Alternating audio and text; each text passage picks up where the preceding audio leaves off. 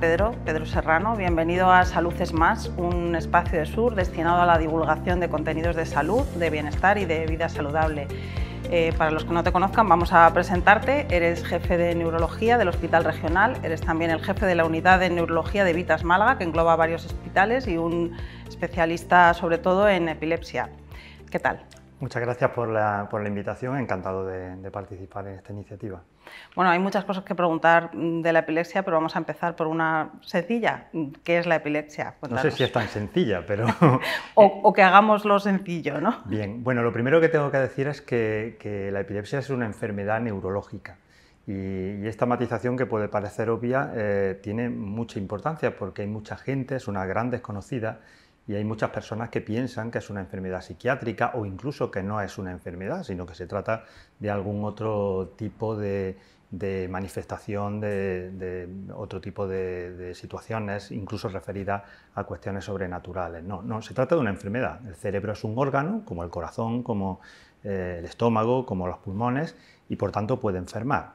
Y una de las enfermedades que atañe al cerebro es la epilepsia. La diferencia con otras enfermedades del cerebro es que a diferencia de las otras en las que lo que se produce habitualmente, por ejemplo en un ictus, una pérdida de función, precisamente en la epilepsia lo que se produce es un aumento de función, un conjunto de neuronas del cerebro eh, va a empezar a funcionar de manera exacerbada y se, y se producen las manifestaciones derivadas de esa eh, alteración en su función. Eh, ¿Cómo se diagnostica? Explícanos qué tipos, porque hay diferentes tipos de, epilepsia. Si, ¿Cómo se diferencia pues, una persona que ha sufrido convulsiones, a veces por fiebre o por otra razón? ¿Cómo se distingue eso de una crisis epiléptica? Eh, la epilepsia, como, la mayoría de las enfermedades neurológicas, tiene un diagnóstico fundamentalmente clínico. ¿eh? Ello significa que la parte fundamental del diagnóstico de la epilepsia sigue siendo la historia clínica y la exploración. Luego hay una serie de herramientas diagnósticas fundamentales que, los neurólogos necesitamos para complementar esa, eh, orientación clínica y la más importante de ellas es el electroencefalograma. El electroencefalograma eh, consiste en, en, el registro de la actividad eléctrica del cerebro que nos permite detectar cuándo se produce ese aumento de función en un grupo determinado de neuronas. Y además de eso, pues existen algunas otras pruebas que son a día de hoy imprescindibles pruebas de neuroimagen, fundamentalmente la resonancia magnética, que permite diferenciar si existe alguna zona alterada del cerebro que sea el origen de esas crisis epilépticas, u posteriormente, cuando se necesitan estudios un poco más profundos, se incluyen estudios de medicina nuclear que nos pueden informar sobre la actividad, eh, ya, no, ya no solo la imagen estructural del cerebro, sino cómo funciona esas partes determinadas del cerebro, estudios neuropsicológicos, eh, y algún otro tipo de técnicas diagnósticas. La fusión de todas ellas es la que nos permite un diagnóstico certero del tipo de epilepsia. Y eso, eh, eso se hace pues, cuando alguien ha sufrido algún episodio de convulsiones que sugiere que puede haber una, una epilepsia. El único requisito para tener una crisis epiléptica es tener cerebro. Es decir, cualquiera de nosotros, sin ser epiléptico ni tener esta enfermedad, podemos tener una convulsión. Todo depende de las circunstancias externas que, existan. Por ejemplo, una intoxicación alcohólica o un traumatismo cranoencefálico puede generar una crisis epiléptica. Eso no es igual que padecer un síndrome epiléptico. Por eso, para decir que una persona padece un síndrome epiléptico, se exigen habitualmente al menos la, aparición de dos crisis epilépticas espontáneas, no motivadas por una eh, causa fácilmente identificable es una de las enfermedades neurológicas más, más, frecuentes. ¿Qué diferencias hay entre la epilepsia que se diagnostica en un niño, que ahora nos aclara si, si se hace desde que es bebé o si puede ocurrir a una edad, si puede ocurrir, por ejemplo, en la adolescencia, y en, la de un adulto? Bien, eh, existen básicamente dos grandes grupos de epilepsia.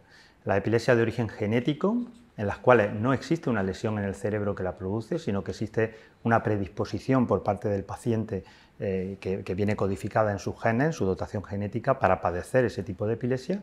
Esta es una epilepsia que habitualmente debuta durante la infancia ¿eh? y por eso hay un pico de incidencia durante la, infancia. Y luego están lo que denominamos epilepsias sintomáticas. Las epilepsias sintomáticas son secundarias a una lesión cerebral, que puede ser muy heterogénea, desde malformaciones vasculares, tumores cerebrales, ictus, el, ictus es una causa eh, habitual de epilepsia y que se genera una vez que ha sucedido la fase aguda del ictus, como consecuencia de la cicatriz que queda en, el cerebro, que se organiza y se produce un foco epiléptico. ¿no?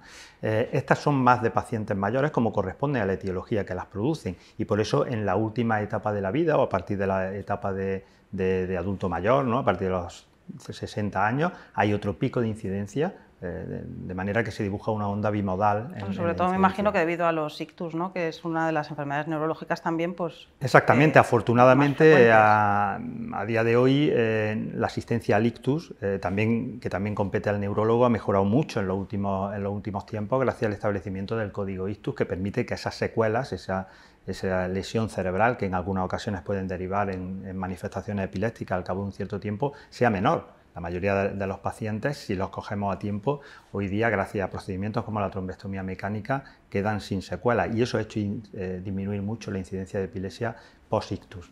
Ahora que hablas de la... Explica un poco qué es la trombectomía mecánica y cuando un paciente sufre un ictus, eh, qué es lo que tiene que hacer mm, por si le tienen que aplicar esa, técnica, que está bien saberlo. Bien, la trombectomía mecánica es una, una, de las terapias emergentes, no, no es la única, pero es una de las terapias emergentes que tenemos para el tratamiento del ictus. Depende mucho de una ventana terapéutica, es decir, desde que se inician los síntomas hasta que el paciente se pone eh, en disposición de un equipo capaz de, ofertar esta, técnica, debe ser el tiempo eh, menor posible. ¿no? Y consiste sencillamente en extraer ese trombo. ¿eh? El ictus sucede por una oclusión, habitualmente en una arteria de, de, gran tamaño en el cerebro y es tan sencillo como introducir un catéter a través de, una vía arterial, llegar a donde está el trombo y extraerlo como si fuera un sacacorcho, vamos. Eh, Por eso es importante lo del tiempo, ¿no? Claro, entonces eh, el tiempo es fundamental porque cuanto antes se haga, menos secuelas van a quedar, eh, no solo secuelas motoras, como digo, sino incluso secuelas del tipo de la epilepsia post-ictus de la que estábamos hablando. Es muy importante que, que exista una buena concienciación acerca de lo que hay que hacer cuando una persona eh, note síntomas que pueden eh, eh, sugerir que, tiene, está teniendo un ictus. Bueno, y volvemos a la, a la epilepsia, otra vez, vamos de enfermedad en enfermedad. hay una serie de pacientes que, mm, por lo que he leído, los últimos datos de la Sociedad Española de Neurología, me parece que hablaba de 400.000 pacientes con epilepsia en España, de los que unos 100.000 no lo tendrían bien controlado con, con, el tratamiento. No sé si es así. Son cifras, son cifras que están todavía en, en debate. Em, yo tuve la oportunidad de hacer un estudio epidemiológico hace, unos años em, en tres zonas diferentes de España, eh, un estudio de base poblacional, que son los que eh, aportan más evidencia, porque claro, esa cifra de las 400.000 personas nace de los registros sanitarios, pero existen muchas personas que mm, realmente o la epilepsia no está diagnosticada porque sus manifestaciones pueden ser eh, muy diversas y hay personas que no acuden ni siquiera al sistema sanitario o personas que van por, por otros circuitos que no son controladas. Por tanto, la evidencia mayor son los estudios poblacionales, yendo a, a, preguntar a las casas de los pacientes. Y en ese estudio la cifra era un poquito superior, rondaba los 600.000 personas en España con, con, epilepsia. Creo que uno de los primeros registros lo hiciste tú y recibiste un premio por, junto con otros, supongo. Me estoy refiriendo a este estudio, a este estudio que, se llama Estudio Epiberia, ¿no? que, que, se publicó en el año 2015 y que, y que analizaba precisamente la, la, incidencia, la prevalencia, mejor dicho, de la epilepsia en España. ¿no?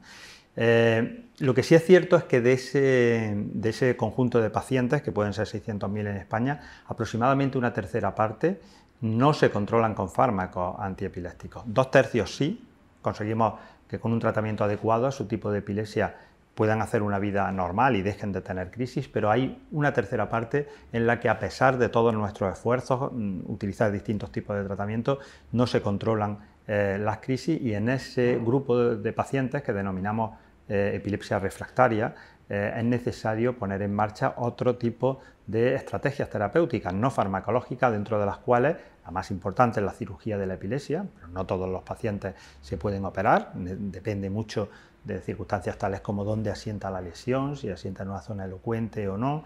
Y hay otras estrategias, la dieta cetógena, eh, la estimulación del nervio vago. Hay distintos tipos de estrategias no farmacológicas que siempre es necesario plantearse cuando el paciente no responde al, tratamiento farmacológico. Y ahora que mencionas la dieta cetógena, que no sé si es eh, correcto llamar dieta cetogénica o dieta keto, ¿no? Si, em, para los se puede llamar americanos, ¿no? Sí. que probablemente muchos lo conozcan porque es una dieta que se puso de moda para perder peso rápidamente. ¿Cómo interviene la dieta en el tratamiento? No sé si es aplicable solo a niños o, también a adultos que tengan epilepsia refractaria. Es una dieta muy exigente. Una, una, dieta muy exigente para cumplirla. Por tanto, es una dieta que se suele utilizar más en niños con epilepsia eh, refractaria porque los, adultos somos eh, habitualmente mucho más difíciles para, conseguir eh, sacrificios de esta naturaleza.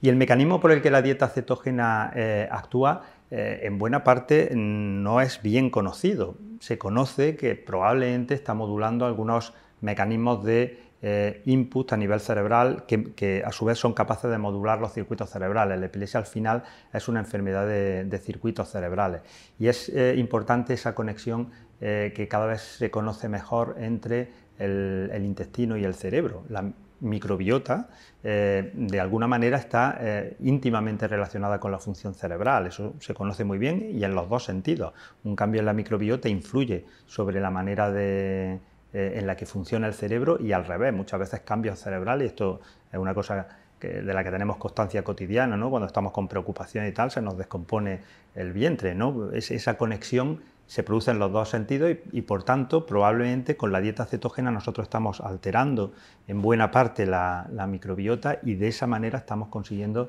eh, modular los circuitos cerebrales y producir un efecto antiepileptogénico. Eh, pero bueno, sería una dieta para seguirla durante un tiempo, ¿no? ¿no? No sería para seguirla de por vida porque es muy complicado, ¿no? Es una dieta alta en grasas y baja en hidratos de carbono, creo. Sí, sí, efectivamente es una, es una dieta, por eso digo que, mm, habitualmente se utiliza en algunos tipos de encefalopatía eh, epiléptica y no es un recurso que haya que pensar en, el tipo de epilepsia más, eh, más habitual, ¿no? y, y sobre todo en personas adultas no es un recurso que utilicemos con mucha eh, frecuencia.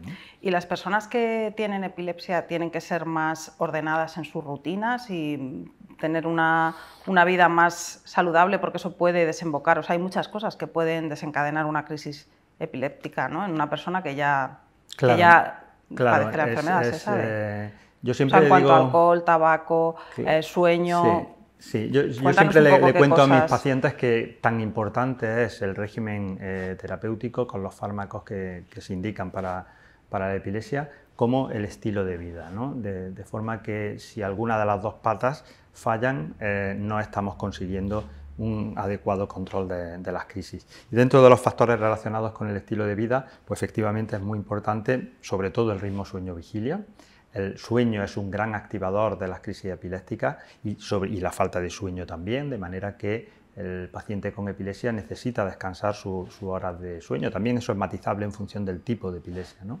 pero en líneas generales esto es así. Los tóxicos, eh, el alcohol es eh, porque eh, disminuye el umbral epileptogénico, es decir, aquella aquel momento en el que ya el cerebro empieza a convulsionar, ¿no? Eh, eh, eh, el alcohol hace que, que, esa situación se alcance con más facilidad. El estrés, el estrés es un tremendo desencadenante de crisis epilépticas. y básicamente, pues efectivamente... el estrés es algo más difícil de controlar, ¿no? Que, sí, pero, que el mm, consumo de algunas sustancias. Efectivamente, forma parte, forma parte de de las recomendaciones. Yo siempre incluyo en las recomendaciones de tratamiento de los pacientes alguna técnica para disminuir el estrés. Y he leído algo sobre la, epilepsia fotosensible o que se pueden, por, determinadas mm, no sé, situaciones lumínicas o incluso dibujos o videojuegos, se puede desencadenar una crisis epiléptica. De hecho, algunos dibujos lo advierten, ¿no? Algunos dibujos. Eh, sí, eh, este tipo de epilepsia son epilepsias reflejas, es decir, crisis que suceden como consecuencia de un estímulo bien identificado, que es el que pone en marcha el circuito anómalo en el, cerebro. ¿no? Eh, la mayoría corresponden a epilepsia de base genética y por tanto las epilepsias fotosensibles son más eh, típicas de, la infancia. ¿no? Y mm, los estímulos luminosos generalmente son las luces intermitentes, estroboscópicas, las luces de, discoteca, pero hay muchos otros estímulos. Es famoso el episodio Pokémon, eh, un capítulo de la serie de dibujos animados que cuando se proyectó, cuando se, emitió por televisión en, Japón, pues produjo cientos de convulsiones en niños japoneses. Pero en niños que ya padecían epilepsia, no en, Pero que no lo sabían. Claro. Y entonces les generó en ese momento que apareciera esa, predisposición a padecer crisis reflejas que tenían.